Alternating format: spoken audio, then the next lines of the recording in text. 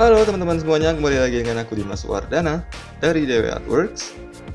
Oke guys, di video kali ini aku akan kembali sharing tips atau trik. Dan untuk tips atau trik kali ini adalah cara membuat Instagram Stories kalian atau Insta Story kalian terlihat jauh lebih keren ya. Oke, sebelum memulai videonya untuk kalian yang belum subscribe, silahkan subscribe dulu ya. Ya, langsung aja kita mulai videonya. Nah, untuk tips yang pertama di sini kita akan membuat college Insta Story atau membuat kolase di Instagram Story atau bisa juga disebut dengan cara menambahkan banyak foto di Insta Story ya. Nah, untuk membuat trik kolase Insta Story ini kita akan membutuhkan aplikasi yang bernama SwiftKey Keyboard atau Keyboard SwiftKey yang bisa kalian langsung download aja di Google Play Store. Di sini kita cari aplikasi Keyboard SwiftKey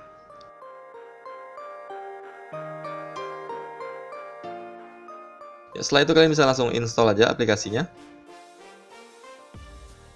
Ya, ya teman-teman, selain Android, aplikasi ini juga bisa kalian install untuk kalian yang menggunakan iPhone ya.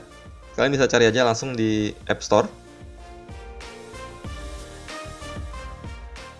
Oke, sebelum memulai tips dan triknya setelah kalian menginstal aplikasinya, kalian bisa langsung aja ubah keyboard yang ada di smartphone kalian menjadi keyboard SwiftKey ya. Kalian bisa langsung aja ubah di pengaturan keyboard, di pengaturan handphone kalian ya.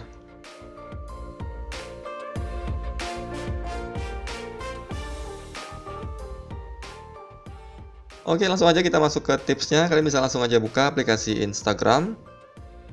Terus setelah itu kalian bisa langsung tap aja icon kamera yang ada di pojok kiri atas. Setelah itu kalian bisa langsung pilih aja background yang mau kalian pakai. Atau kalian bisa juga langsung pilih foto yang ada di galeri smartphone kalian.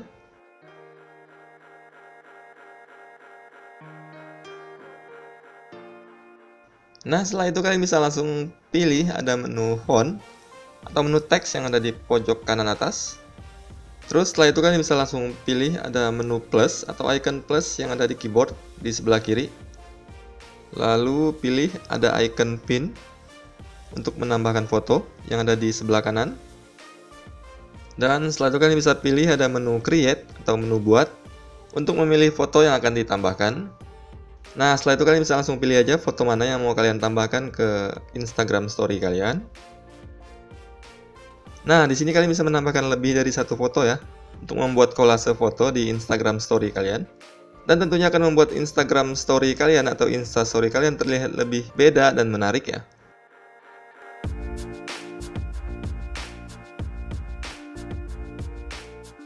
Dan untuk tips yang selanjutnya adalah cara membuat background share post di Insta Story yang sekarang juga lagi hype atau kekinian gitulah ya.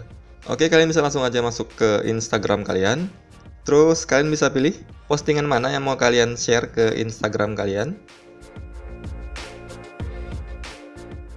Nah, kalau kalian udah pilih postingannya, kalian bisa langsung pilih aja atau kalian bisa tap icon share yang ada di postingan fotonya. Lalu kalian bisa pilih menu tambahkan postingan ke cerita Anda yang ini untuk menambahkan postingannya ke Instastory kalian ya. Nah, kalau udah seperti ini, langsung aja kalian pilih ada icon text atau icon font yang ada di pojok kanan atas untuk kembali memunculkan Swift Key Keyboard ya. Lalu setelah itu kalian bisa langsung tap aja atau tekan ada icon pin atau gambar pin yang ada di kanan. Dan kalian bisa langsung pilih ada menu create atau buat untuk menambahkan fotonya ya. Ya, setelah itu kalian bisa langsung pilih background mana yang mau kalian jadikan Instastory share postnya. Nah, di sini agar foto yang mau kalian share tersebut berada di depan background yang udah kalian pilih, di sini kalian bisa langsung geser aja dulu postingannya ke bagian atau sebelah kanan seperti ini. Lalu setelah itu kalian bisa perbesar foto background kalian hingga memenuhi layar ya. Tapi di sini kalian harus menyisakan sedikit ada ruang untuk postingan kalian sebelah kanan. Nah, setelah itu kalian bisa memunculkan share postnya dengan cara kalian tap atau tekan dua kali di sebelah kanan layar seperti ini atau di bagian yang ada sedikit ruang yang udah kalian sisakan sedikit tadi. Dan untuk terakhir kalian bisa sesuaikan aja atau scaling ukuran share postnya dan kalian bisa letakkan share postnya sesuai dengan yang kalian mau. Oke guys, mungkin sampai segini aja dulu untuk tips tentang Instagram Stories. Oke, untuk kalian yang suka dengan video seperti ini, kalian bisa klik like, dan kalian bisa tuliskan komen atau komentar kalian di bawah. Dan kalian bisa juga request tips atau tutorial yang akan kita bikin selanjutnya ya. Oke, okay, so yeah, that's it for today. I hope you guys enjoy this video. Thanks for watching. Aku Dimas Wardana. Be creative and see ya.